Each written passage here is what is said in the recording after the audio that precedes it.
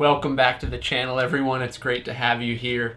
My name is David, and I am on a mission to build the perfect beehive, at least for my situation. This whole process began a little over a year and a half ago when I was just getting into beekeeping for the first time, and I started researching different beehive designs, and there were so many out there to choose from, and Langstroth and Warre and Top Bar and horizontal hives, and so I started doing my research and uh, learning a little bit about each one, their pros and cons, and I came to the realization that none of them had all of the features for what I was looking for, and I just couldn't find the perfect design out there.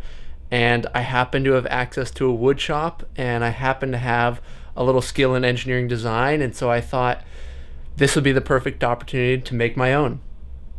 Last winter, I designed and built my first beehive, and it's been operating throughout this past season. We've had a lot of fun with it. Um, the bees seem to be doing well. They're still surviving out here in this cold Massachusetts winter. But there are still some things that I think I can improve on and some new ideas that I want to try this winter. You see, my old hive still needs to have insulation wrapped around it in the winter, and that's just not something that I want to have to do every season. I'd much rather the insulation be built in from the start, and that way I don't have to worry about it at all, uh, especially since insulation can also help in the summer. Um, so that's one design change that I really want to make this winter. Um, a second is that I developed these types of frames that I'm calling double deep frames, and while they worked well, I think they can be more refined and a little bit more elegant. I made them very sturdy because I didn't want them to break, but I think I went a little bit overboard in the dimensions and they're a little chunky. So this winter, I think I can pare those down, give the bees a bit more space to build their comb. That's going to result in happier bees, more honey for me. That's a win-win. But I think I'm getting ahead of myself here because I don't simply want to make changes to my old design. I really want to think critically about each component and each step um, from the base up. So I've come up with three criteria that I really want to hit, and this is what they are. Criteria number one is that this hive has to be good for honeybees. And I know that may sound extremely obvious, and it is, but I don't want to forget that fact as I'm building this hive from the ground up. And when I think about keeping bees happy, this is what comes to mind. So A, I need to protect the bees from inclement weather, rain or snow. B, I need to protect the colony from any creatures that might want to get to the colony to steal their uh, honey reserves or pollen reserves. C, I need to provide adequate ventilation and insulation both in the summer and winter to maintain a nice stable climate inside the hive. D, I don't want to disturb the hive when I'm making my uh, inspections. So I don't want to be cracking open boxes that reveal large quantities of bees. I'd much rather be able to pull up a single frame and inspect that one, leaving the rest of the hive undisturbed. And E, I need to be able to expand and contract this hive. As the bee colony grows in the summer and diminishes in the winter, I need my hive to be able to follow that population. So an easy way to do that would be great. So keeping all that in mind, I really need to focus on the needs and wants of the honeybees. They are the top priority in this hive, and secondarily to all that comes my experience with it. But at the forefront should always be the honeybees. Design criteria number two is that this hive has to be easy to use, whether by me or, or someone else. Um, I really enjoy sharing my beekeeping practice with friends and family, and if they don't know as much as me or feel a little uncomfortable, I don't want that to stop them from getting to experience the wonderful world of bees. So I really need this hive to be intuitive in its design. I don't want it to be complicated. It should be really simple and anyone who walks up to it should know how to use it. This hive also has to be easy to maintain and easy to manage. So I don't want to have to add insulation in the fall. I want that to be built in. I don't want to have to reach way inside the beehive to pull up debris from the bottom. The bottom should just hinge out.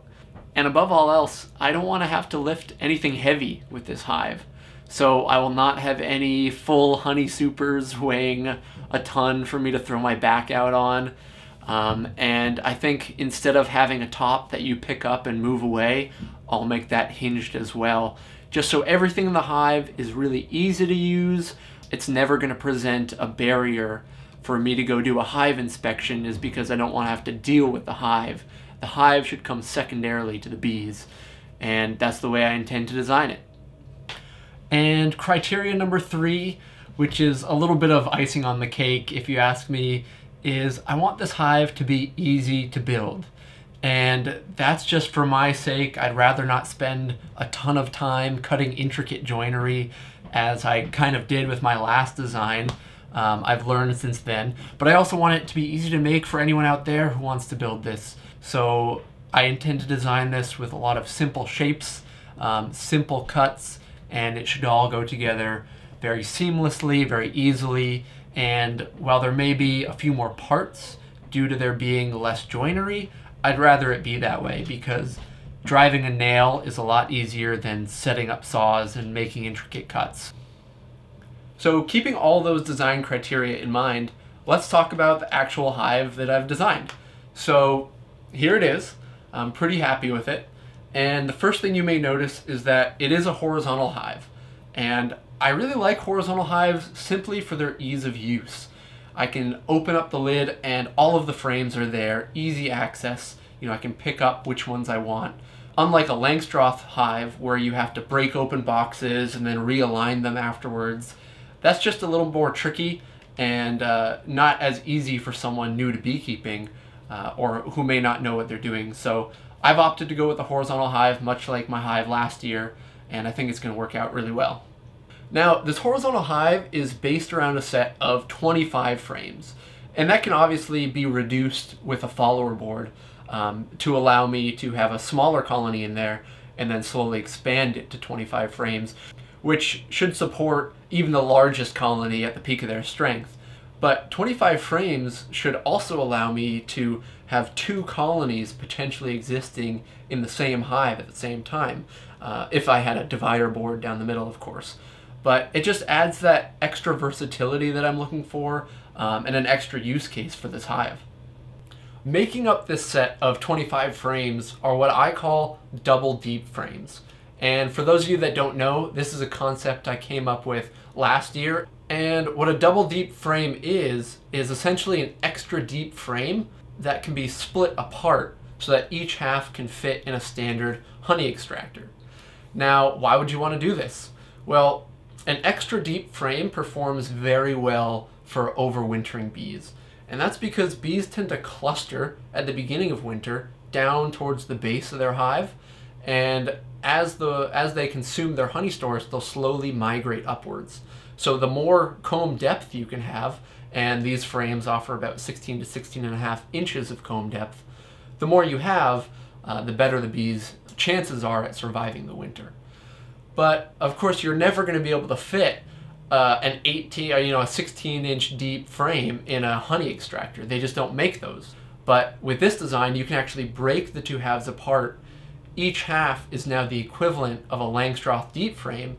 And as I'm sure you know, uh, most honey extractors are designed to handle at least a Langstroth deep frame. So these double deep frames allow you to get that uh, maximum comb depth um, that you would in like a Layens hive, for example. Um, but it allows you to use standard honey extracting equipment that you can find in the United States, which is super convenient.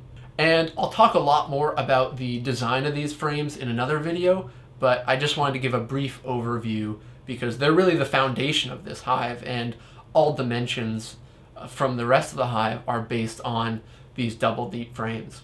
So using the dimensions of the double deep frame and then extrapolating that out 25 times, I could get the dimensions for the rest of the hive, um, that being the walls, the roof, and the bottom. All of these components will be insulated. The walls will have an R value of 10, the roof will have an R value of about 20, and then the bottom will have an R value of around 5. And that's just what I've come up with to try and mimic a natural hive in the wild. You know, bees often build their colonies in the hollows of thick trees, and those thick walled trunks provide excellent insulation value. I think a common misconception is insulation is only valuable in the winter, but insulation does not uh, provide heat, it just simply slows the transfer of heat. So it's my opinion that the insulation will offer value both in the winter and the summer uh, just to slow that transfer of heat. And we can take a look at the front wall of this hive to see how it'll actually be constructed. Um, it's built much the same way as a regular stick-framed house.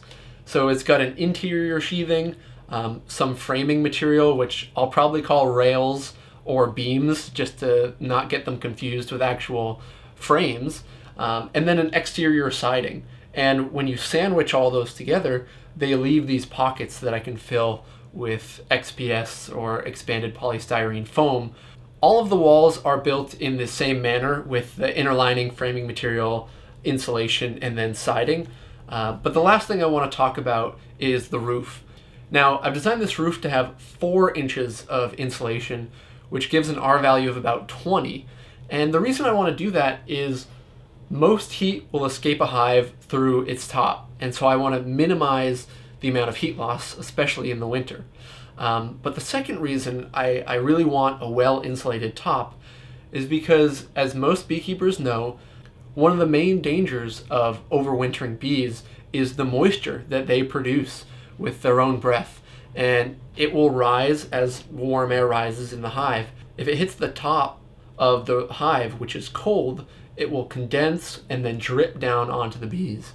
And that's often what will cause a colony to die in the winter. It's not the cold temperatures, but the fact that they're getting showered on with cold water constantly.